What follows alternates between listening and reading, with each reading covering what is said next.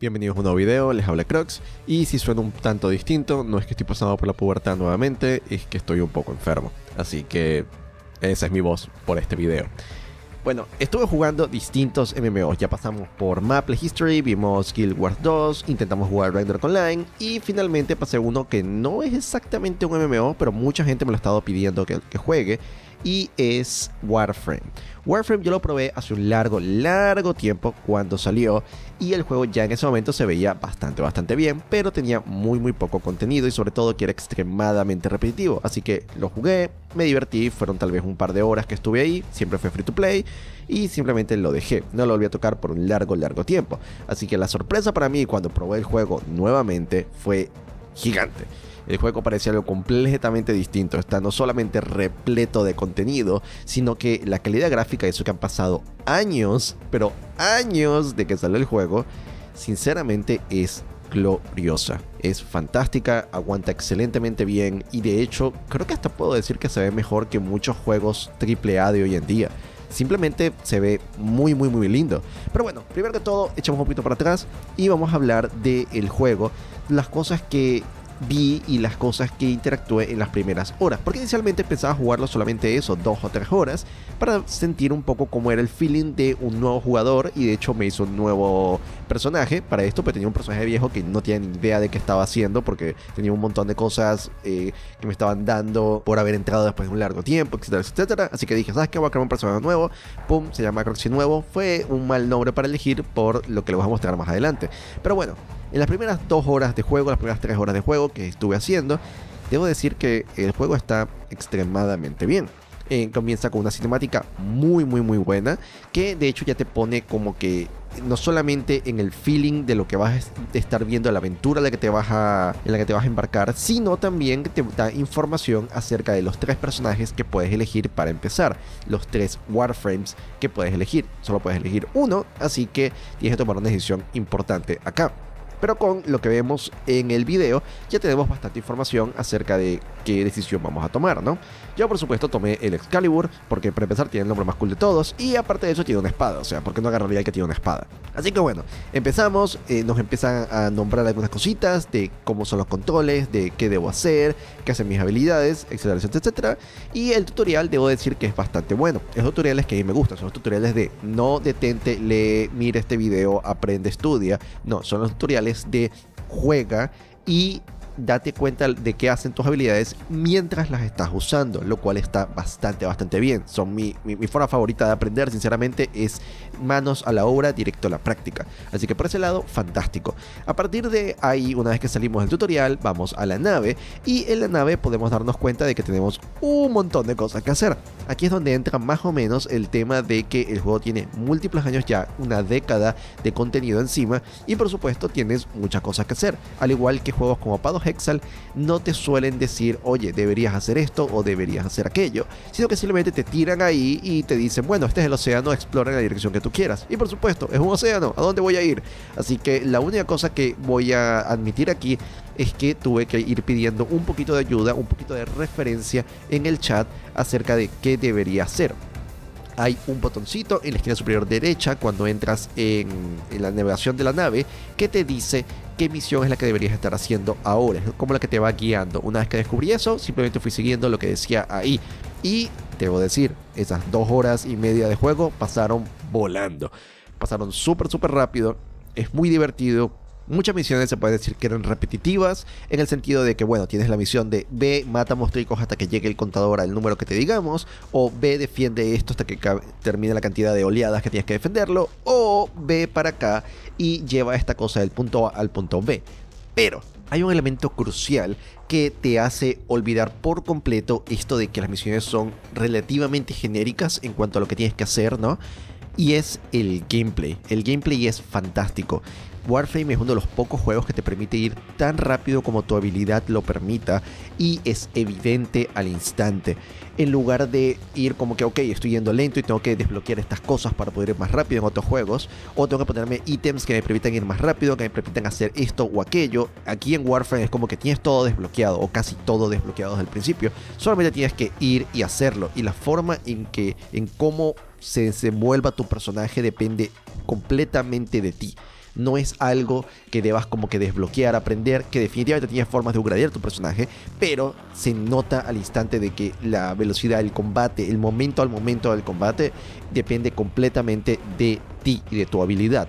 Y eso se siente bastante bien porque notas al instante como que, uh, el personaje se siente súper rápido y en un par de horas ya le empiezas a agarrar la mano de qué tan rápido puedes ir y de cómo usar ciertas habilidades y también te das cuenta de que hay muchas combinaciones de cosas que puedes hacer. Y de nuevo, mucho de esto no lo aprendí, o por decir casi que todo, no lo aprendí mirando una guía o que el chat me dijera o leyendo algo del juego, lo aprendí probando cosas y probándolas de forma natural, lo cual se siente bastante, bastante bien. O sea, tú cuando estás jugando una especie de shooter o algo en primera persona, aunque esto no es primera persona, pero se siente a veces así, eh, tú dices, bueno, que con qué botón me agacho, con qué botón me puedo deslizar, con qué botón salto, etcétera, etcétera, y vas probando eso y combinaciones de esos botones y empiezas a descubrir todas las cosas que puedes hacer, que debo decir son un montón y se siente extremadamente bien cómo fluye una habilidad con la otra, porque eso es una cosa que a veces sucede en algunos juegos, incluso en juegos muy amados como Counter-Strike, en los que a veces se ve como raro el personaje o se siente extraño cuando haces combinaciones de, ciertas, de ciertos movimientos, que tú dices, bueno, es más eficiente hacer esto, pero se ve raro o se siente raro. En cambio aquí en Warframe fluye extremadamente bien, es fantástico. Así que bueno, vamos directo con las cosas que puedo mencionar del juego, con lo que tengo jugado hasta ahora, que es aproximadamente unas 20 horas de juego. Así que primero que todo, gráficos 10 eh, de 10. Sinceramente, un juego free to play no tiene por qué verse tan bien como se ve este. Es glorioso, lo he dicho ya varias veces. Se ve muy, muy lindo. Tú fácilmente puedes pensar que este es un juego que tienes que comprar, un juego AAA, algo así. Y no lo es, es un juego que puedes cargar totalmente gratis. En cuanto al contenido, lo que podemos hacer es gigante. Hay muchísimo que hacer en Warframe.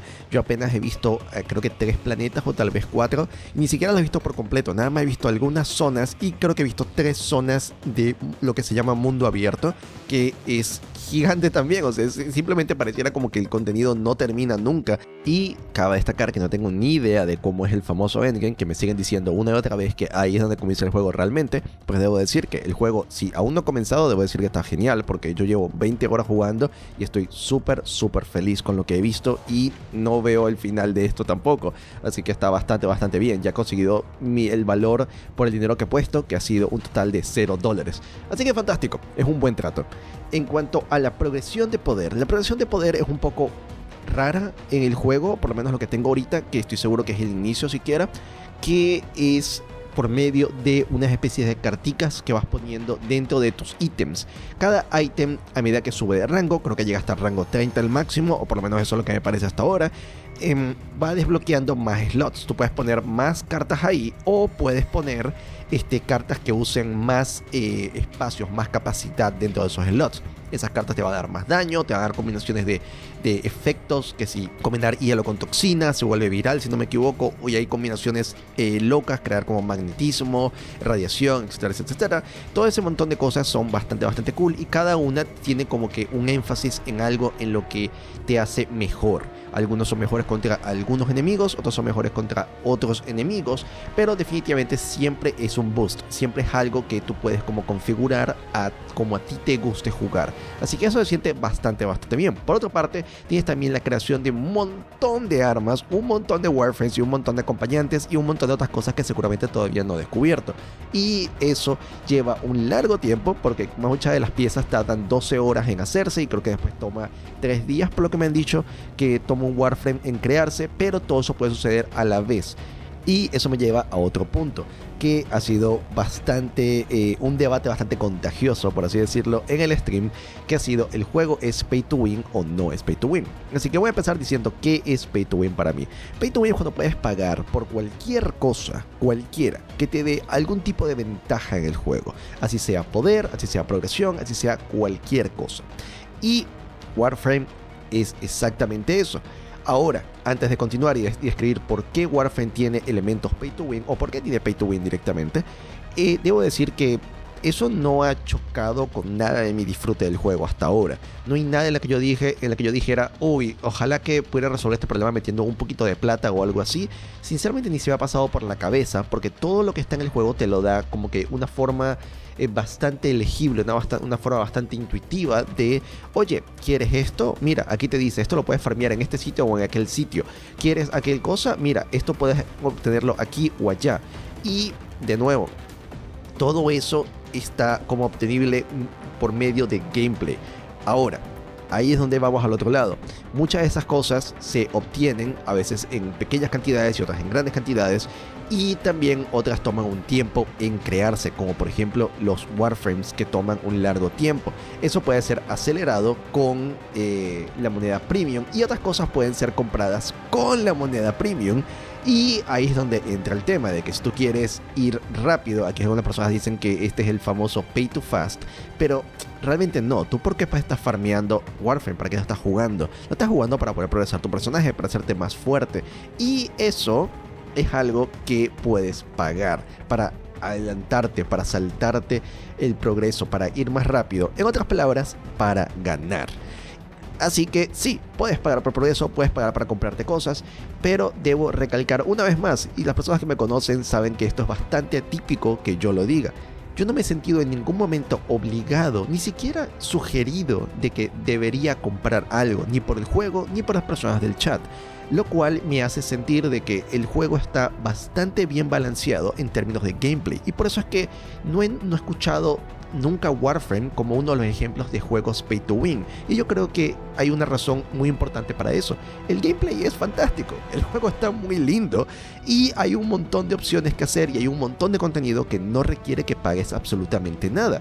Entonces, si lo vemos por ese lado, sí, o sea, tal vez estamos en el caso de Genshin, que es un juego que no he jugado, pero la gente sabe que es un juego gacha, un juego en el que puedes pagar por progreso, pero nadie se molesta porque el gameplay es así de bueno.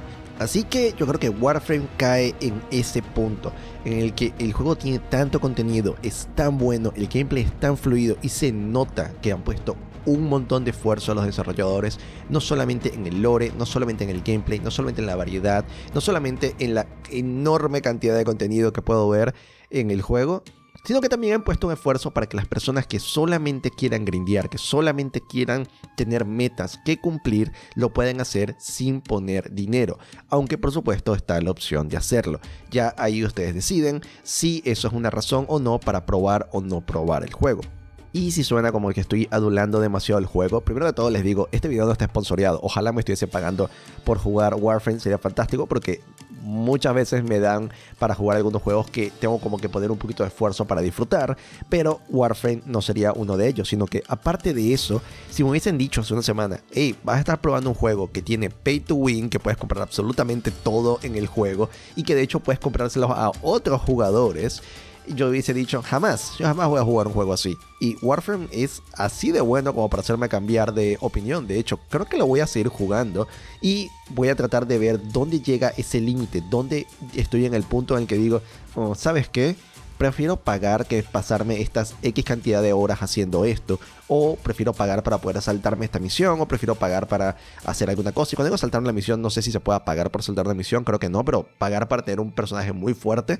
Para simplemente hacer la misión fácil, me refiero. Ese tipo de cosas, ¿no? O sea, quiero saber si llega algún momento en el que yo tenga que decir eso. O me lo diga a mí mismo. O lo diga al chat o algo así como que. Oh, ¿Sabes qué? Si me tira plata, esto sería más fácil. No pudiera pasar por esta parte que es fastidiosa.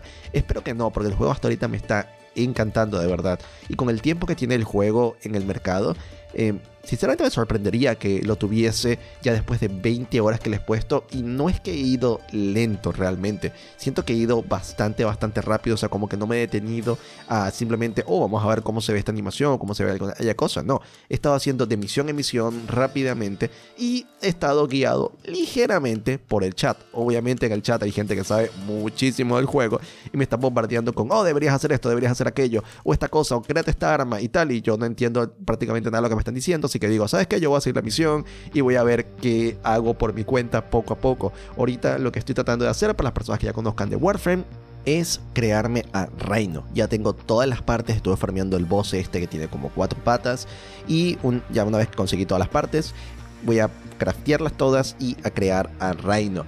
Em, creo que tengo prácticamente todo, me falta algo, no recuerdo qué. Por supuesto todo lo voy a hacer en vivo y lo voy haciendo poco a poco y todo a mi ritmo. Aunque debo decir, y esto es algo que obviamente cuando lo recibí no tenía ni idea de qué era, pero me mandaron a un Warframe que se llama Dante. Lo probé un momento y se sentía rarísimo, sinceramente, o sea, no puedo describirlo de ninguna otra manera. Es súper, súper extraño, sobre todo en comparación a Excalibur, que es el que elegí. Así que decidí simplemente guardarlo porque también que se sentía extraño, los hits, lo que pegaba como el, su poder principal era extremadamente fuerte, pegaba como, no sé, cinco veces lo que, lo que pegaba yo normalmente y eso que el mío ya tenía más o menos leveleado.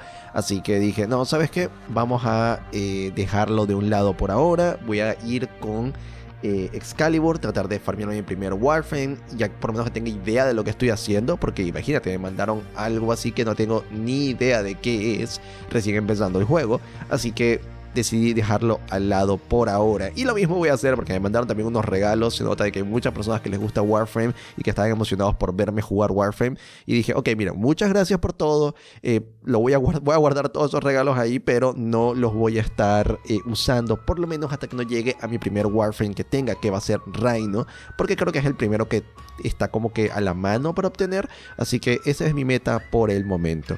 Después de que tenga Reino y que ya haya avanzado un poquito más la historia, igual Reino va a tomar un tiempo para que se craftee, para que se termine de completar y todo.